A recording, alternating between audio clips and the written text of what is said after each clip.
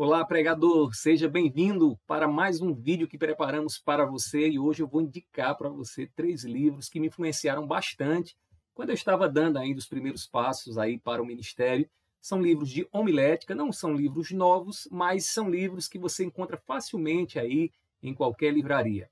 Esses livros, eles tiveram muita influência sobre mim e me ajudaram a abrir aí o entendimento para a preparação e apresentação do Evangelho. Não se esqueça de se inscrever aqui na Escola de Pregadores e no final do vídeo deixa aqui o seu joinha se você gostou e também se quiser coloca aí os comentários, faça os seus comentários porque isso é muito importante para a gente saber que você está recebendo esse conteúdo aí, está interagindo conosco e assim também esse vídeo ser compartilhado com outros irmãos nossos. O primeiro livro que eu indico é o livro Como Preparar Mensagens Bíblicas do James Braga. Meus irmãos, este foi o primeiro livro. Na época que eu adquiri esse livro, ele não tinha essa capinha bonitinha, era uma capinha azul. Esse livro é um livro antigo, certamente, se você conversar com pastores mais, mais vividos e perguntar sobre o James Braga, a maioria deles que tiveram ali uma instrução formal receberam aí as instruções a partir desse livro. Esse livro continua sendo utilizado por muitos seminários e eu também utilizo ainda muito do que esse livro ensina. Qual a vantagem dele? A vantagem dele é que é um livro muito técnico, né? Um livro muito técnico que vai dar para você aí técnicas para você desenvolver mensagens, né? E aí ele trabalha com os três tipos mais comuns, né, de sermões, que são que é o sermão temático, o sermão textual e o sermão expositivo.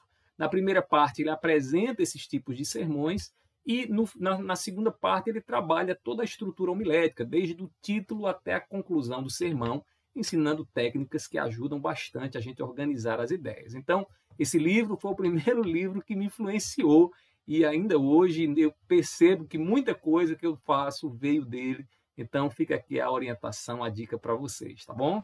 O segundo livro já começou a abrir a minha visão para a pregação expositiva, que é o livro Prega a Palavra Passos para a Pregação Expositiva, do Karl Lacker. Né? Então, esse livro aqui, meus irmãos, é o livro que nos, nos ensina a lidar, a estudar o texto para a pregação expositiva. Né? Também é um livro muito didático. O, o professor Cal ele faz então algumas colocações, principalmente relacionando a pregação né, num contexto mais social, e também nos, nos ensina bastante sobre a exegese do texto bíblico, até porque a pregação expositiva como qualquer boa pregação bíblica, tem que vir lá do estudo exegético da passagem. E aqui nesse livro, o autor ele nos dá um, um passo a passo para você abordar vários aspectos do texto, fazer ali a estrutura analítica, né, é, da qual você vai extrair a, a exposição do seu sermão. Né? Então, então, esse livro é um livro que me influenciou bastante, já abrindo a minha visão para entender a importância de ser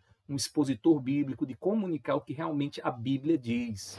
O terceiro livro que me influenciou, que foi o terceiro livro da, da, que eu adquiri na época ainda de seminário, foi o livro do Robson Marinho, A Arte de Pregar. Este livro é um livro assim diferenciado, porque não é um livro novo, mas já trata de um tema bastante atual, que é a questão do ouvinte pós-moderno né, e da pós-modernidade, como essa era né, que nós vivemos agora influencia a pregação. E aí o Robson Marinho, ele tem uma pegada aí dentro mais da área da oratória, da retórica, e ele trabalha a questão da estruturação do sermão, mas o foco é mostrar como o pregador ele deve pregar de forma relevante para os ouvintes dos nossos dias. Tem muitas orientações aí é, de cunho retórico e, e, dentro da oratória.